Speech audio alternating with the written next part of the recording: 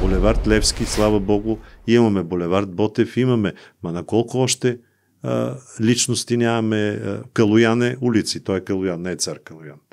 Ма замисли се на библиотеката, библиотеката в София, националната е Кирил и Методи, не е свети свети Кирил и Методи. Ми те са светци. Що не го направите? А, и не е трудно. Въпросът обаче, че някой пак ще тръгне да търси политически дивиденти, някой пак ще вопие, че ние, видиш ли, заличаваме националната памет, защото още нашите предци а, след освобождението са решили така да нарекат а, тези улици.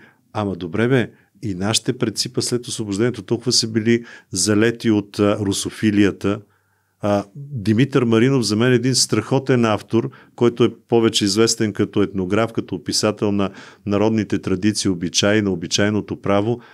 Той е бил и политическа фигура, обществена фигура, борец, участник в борбите за църковна независимост, любим русофоб. Много обичам да го цитирам. Невероятен човек. Той казва в един момент наистина какво докара русофилията в България. Храм като Александър Невски, имената на централните софийски улици се на а, а, руснаци.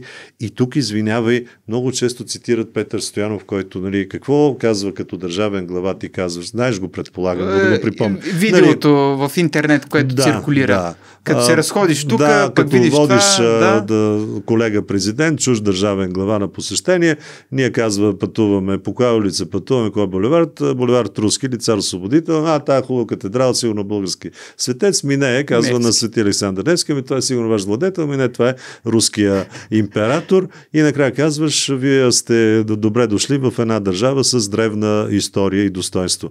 Ами Петър Стоянов има ли реалната власт да промени нещата? Има. СДС беше ли на власт? Беше на власт. Що не почнаха те първи да демонтират моча? Ами седяха и дремаха.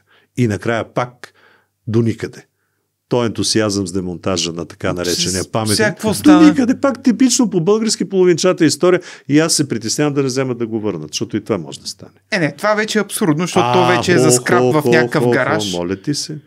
Не помна кой стар паметник го бяха. А, на Владайското възстание, така наречено войнишките бунтове, като пътуваш към Перник, загледай се, паметника е почистен, не е демонтиран. А, този, който се пада от ляво. Да, да, да или от дясно, като идваш от Перник. Да, така, до че, една бензиностанция, да, да, софиянци ще се сетят. Нямаме веднага. паметници, ние нямаме паметници в София, знакови паметници на, на, на хората, които благодарение на тях има тази държава. Им, има предвид държавата, която възниква от 1000, а, пардон, от 681 На Аспарух година. няма Точно паметник, така, нали? Точно така. На кой друг още да кажем? Да, да, да колко няма паметници? Обаче на цар Борис Кръстител няма. Май. Няма. Аз бях в един инициативен комитет, включително в името на идеята. Те бяха три в един момент, обединихме се, стана един инициативен комитет и Солична община на едно обсъждане и то хора с десни убеждения така извъртяха нещата, че ние накрая се питахме кое е мястото на Борисов в София. Кое е твоето Това е. обяснение? Защо толкова трудно се случва всичко у нас? Стане ли дума за промяна? Очевидно промяна към нещо хубаво, към възстановяване на националната ни идентичност или поне опит за възстановяване на идентичността. Ами знаеш ли, аз мисля, че а, без да го превръщам в икона, но много точно го е казал Левски. Българина обича свободата, обаче приема я, коя, когато му я поднесеш на тепсия. Е, това е. Ние много обичаме София да е малката Виена, да е европейски град, да е чиста, да... Обаче някой друг да ни свърши работата. Аз ще карам скъпата кола, ма не ми пука, че около мене с зарито с буклуци, няма да се сета, да се обада в общината и да кажа, пичове, аз да ви плащам данъците. Що е тази кочина? За мен е важно в моята кола аз да се чувствам добре, като в собствената си кожа. Дреме ми там, че кърлежи, змии и тем подобни ще пълзат из, а, из междублоковото пространство. Това е, ние се чакаме някой друг да ни свърши работата. Ама проблема е, че тия, дето трябва да ни свършат другите, стават все по-малко. Все по-малко са мотивирани, защото трябва да ти кажа, че а, аз, който ме знаеш, че не съм от хората, които пропускат протести, само ако не съм болен, няма да отида. А, и сме се виждали на протести в защита на Украина и, и а, за моча и въобще.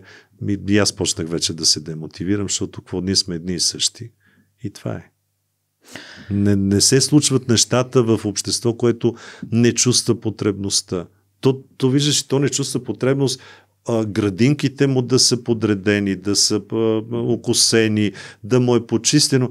Ти очакваш за велики идеи. Същевременно, а, как да кажа, унези, които са градили София след освобождението те са живели с мисията, че правят нещо, че оставят, че трасират пътя към едно много сериозно светло бъдеще, колкото и клиширано да звучи. Някакси сега има една умора, една апатия във всички нас, защото виждаме, че нещата, колкото и да искаме, не се случват. Ако щеш, може би нещата са такива и в глобален план. От друга страна, дай да си го кажем, менталитетно какви сме. Ми явно такива сме. Брати и сестри, бързо прекъсване на разговора ми с Горан Блакоев, за да ви напомня, че 55% от моите зрители не са се абонирали все още за канала Чефо. Приятели, направете го. Така ще ми дадете още повече стимул да повиша качеството и количеството на видеята, а колкото по-голям канал съм, логично ще идват и все по-големи хора. Благодаря ви, насладете се на остатък от разговора. Това си заслужаваме. Това, че имаш тук там някакви проблясъци сред личностите, явно ние като цяло сме си и този менталитет трябва да го видим, може би, още в османско време. Точно на там исках да те а, заведа. А може и предосманско, знам ли? Дали това въобще не е някакъв парадокс на нашето време, а винаги да е било така. Само се замислям колко души се присъединяват към четата на Ботев след като а, акустира на българския бряг. Еми, не са много. Не никак, са много. Никак, да не кажеш, че си останали да същите. Да не говорим, а, и това си го позволявах по време, без да се правя на герой, разбира се, по време на директните, защото и от, на 1 юни от Враца съм правил, на, на 2 от Околчица. Враца винаги съм припомнял как Ботев идва във Врачанско и го посрещат затворените порти тактично. И сега ще кажа, а, извинявайте, ма Враца си прави а, помен с чужда пита, защото Враца посрещна Ботев с затворените си врати и ако му беше помогнала Ботев, може би нямаше да загине в а, Врачанския Балкан. Виждаш ли цинизма ни? Да героизираме жертвата, която ние сме направили. Ма не наша жертва, ми ние сме причината този човек да, да загине по Тази... този нелеп начин. Друг е въпросът дали не е убит от своите си за пари. Нека и това да не забравяме. Има ли такава Че теория? ние сме си ми крайна сметка. То откъде ще знаеш какво е станало? Друг е въпросът, че да години? не обичам да се а, унижаваме с това народ от предатели. Навсякъде има предатели. Къде повече, къде по-малко. Да, може би при нас поради а, така обичайното, как да кажа, съжителство с по-силния пет века, оная хубава фраза и отърча в конака, или не тук се говорят а, приказки против Негово Величество Султана, аз излазям, а, може би повече формирала националния ни менталитет, отколкото на други нации с достоинство, защото стига да не досаждам. Един много любим мой пример а, в Полша, в Краков, на центъра имат една много хубава галерия. Някога това е било покрит пазар за търговия с сукно и така се и казва Сукеницата. На втория етаж страхотна картина галерия с стари майстори, така романтична история. Има една картина огромна, може би колкото тази стена в студиото. Германия, Прусия приема клетва за вярност към Полша. Знаеш, че по време на немската окупация немците се търсили тази картина да унищожат поляците, които са от двете страни в сандвич, от едната страна руснаци, от другата страна немци, държава нямат, пардон, нароло тази картина и се крие. И никой не е предал. Никой не е казал е там, леди кой си е. Или къде си се е скрили.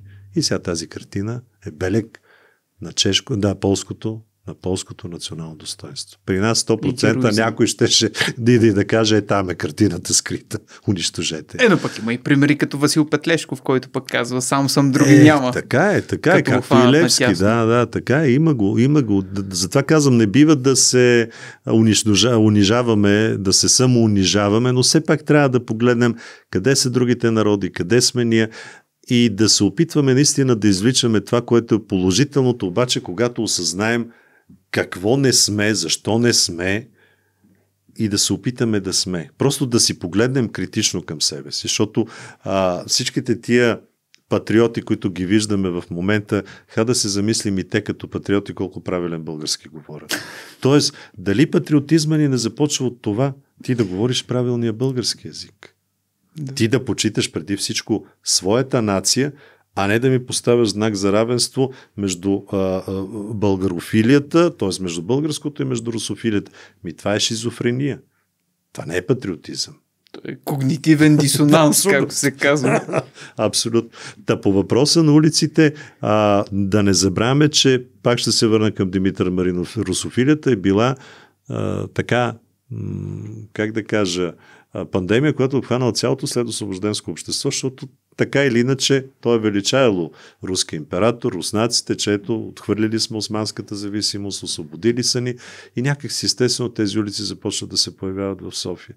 И аз се замислих, че а, София е лишена от а, много красиви, романтични названия на улиците, къде гледах скоро в а, Дрезден имаха улица Вишнева, примерно. В Берлин Унтердерлинден, под Липите. Ние е хубаво заведение, ама нямам улица. Пример да речем улица Липова, улица Лозарска, Лозенец, например, поне има хубаво название. Е такива по-романтични названия, стари имена, които сигурно ги е имало в София. А, преди буквално три дни се разходих в а, квартал Горна баня, около едно място, наречено Манастирска Кория. Не знам дали си го чувал. Едно... Кория. Кория, извинявай. Кория. Еми аз пък за севте открих този ам, шумак. и а, ми направиха впечатление имената на улиците в района и сега ще прочита няколко, защото определено ми харесаха. Ако мога по някакъв начин да те а, оборя улица, да кажем, Ехо, Буен поток, Патриот, Кристал, Дъга. Ама чакай, това Маркова са нови, баня. нови, нови улици, които мисля, че не ги е имало. Говоря за центъра на София, разбираш? Центъра Той, не. В центъра, центъра не. И аз живея в квартал, който има улица Природа, улица Пролет, Родопски извор, Пирински проход. Все хубави названия, но стари имена, които да, да, да покажат съхраняване на паметта, няма.